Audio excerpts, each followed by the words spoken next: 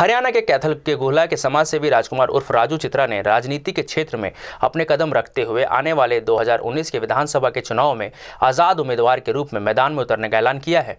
चित्रा ने मंगलवार को मीडिया क्लब कैथल में पत्रकार वार्ता की है, जिसमें वे जिला के पत्रकारों से रूबरू हुए।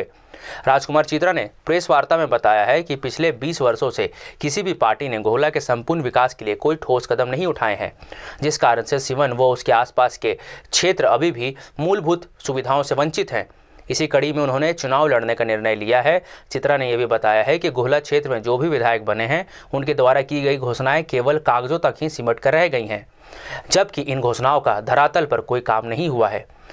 चित्रा ने बताया कि गोहला विधानसभा चुनाव में अहम योगदान देने वाले सिवन क्षेत्र में आज तक बस स्टैंड और पार्क तक की सुविधा नहीं उपलब्ध कराई गई है।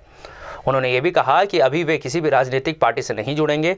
इस चुनाव को गरीब लोगों की सहायता और उनकी समस्याओं को अपना एजेंडा बनाकर आज़ाद उम्मीदवार के रूप में मैदान में उतरेंगे। हर बार अधिकतर उम्मीदवार लोगों को जातियों व धर्म के आधार पर बांटकर भोले भाले लोगों से वोट लेने का कार्य करते हैं। अंत में चित्रा ने सभी पत्रकारों का आभार प्रकट किया और इस मौके पर अली हसन, राजेंद्र सिंह, लव चित्रा, मनोज कथुरिया सहित अन्य लोग मौजूद रहे। कैथल के मेरे जो पत्रकार बंधु हैं मैं उनको सभी को नमस्कार करता हूँ।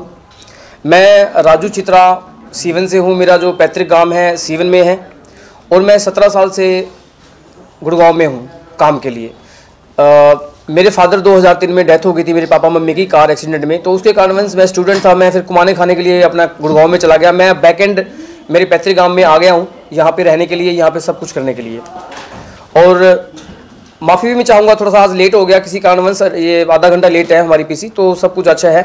मेरा ये एजेंडा है सर मैं आपकी बार आ, मेरा जो पैतृक गाँव है सीवन और मेरा जो हल्का पड़ता है गोला विधानसभा मैं वहाँ से 2019 के अंदर इलेक्शन लड़ने के लिए मेरा मूड है और मैं अपने पैतृक गाँव को आगे बढ़ाना चाहता हूँ। उसका कारण ये है कि सर कि 20-22 साल से 20-22 साल से मेरे गाँव के अंदर कोई भी आदमी विधायक नहीं बन पाया।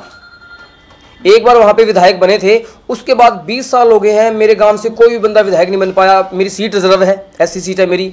गुहलाल के से, यहाँ से सभी लोग अपनी बड़ी तैयारी करते हैं। तो मेरे पूरे हरियाणा के जितने भी मेरे पत्रकार बंधु हैं 22 के 22 जिलों में जितने भी मेरे लाइजिंग हैं उन सभी ने मेरे को बुस्ट किया कि भाई राजू चित्रा आप आगे बढ़ो हम आपके साथ हैं। तो सर मैंने अपना ये एक लक्ष्य लिया है कि मैं पूरे मेरे गाँव के लिए मेरे पूरा गुला हल्का विधानसभा के लिए और मेरे पूरे जो भी मेरे रिश्ते हैं लाइजिंग है पूरे हरियाणा के लिए मैं सर ये कार्य करने जा रहा हूँ सर। कौन सी पार्टी के उम्मीदवार पार्टी पार्टी सर अभी मैंने कोई भी चूज़ नहीं की है। अभी कोई भी पार्टी वैसे मेरे को काफ़ी जगह से कॉल आ रहे हैं। मुझे अभी दो तीन महीने मुझे कोई पार्टी ज्वाइन भी नहीं करनी है। मैं अपना धरातल पे काम करूँगा, मैं अपना एक, मेरा ग्राउंड बनाऊँगा, जो जो सुविधाएँ, जो चीज़ का भी गाँव में नहीं हो पाई, मैं वो करूँगा। हज़ारों करोड़ों रुपया, हज़ारों करोड़ों रुपया जिला कैथल के लिए गुला हल्के के लिए आता है, सर, वो पैसा आते नहीं पता कहाँ चला जाता है, कागजों में कुछ होता है, कोई आवाज़ नहीं उठा सकता।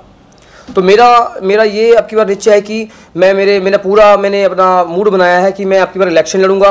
और बचपन में शायद मैं ये कुछ सपने मैं जब यहाँ से गया था शायद मेरे पास पढ़ने के लिए भी पैसे नहीं थे। जब मेरे माँ बाप की डेथ हुई कार एक्सीडेंट में मैं एक स्टूडेंट था मेरे पास पढ़ने के लिए भी पैसे नहीं हुआ करते थे। तो आप किसी भाई ने आप जैसे भाइयों ने मेरे को आगे बुस्ट किया मैं गुड़गावा गया गुड़गावा के सर मैंने पत्रकारिता की। पत्रकारिता के क्षेत्र के अंदर सर मैंने उसके बाद आ, मैंने खुद का मेरा खबर हरियाणा न्यूज़पेपर भी पूरे हरियाणा में मैंने स्टार्ट किया है।